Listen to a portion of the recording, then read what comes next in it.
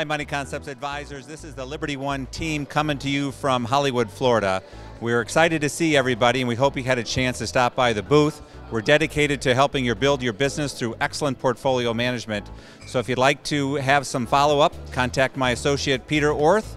Uh, we have Ben Paul and Tyler Braun. I'm Roch Tranel. We're just really happy to support you in your business development and your portfolio management in any way uh, we possibly can.